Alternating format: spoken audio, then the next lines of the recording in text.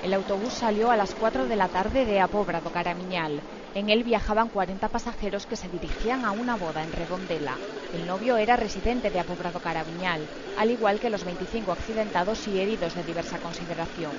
Un joven de 31 años perdió la vida en el acto tras salir despedido y quedar atrapado bajo el autobús. El conductor del autobús pierde el control e invade la parte izquierda, carril contrario, e impacta contra un pino del margen y a continuación vuelca eh, sobre la calzada. Un pau bastante fuerte, ¿no? A mí cando me calentara me chamaron perfectamente.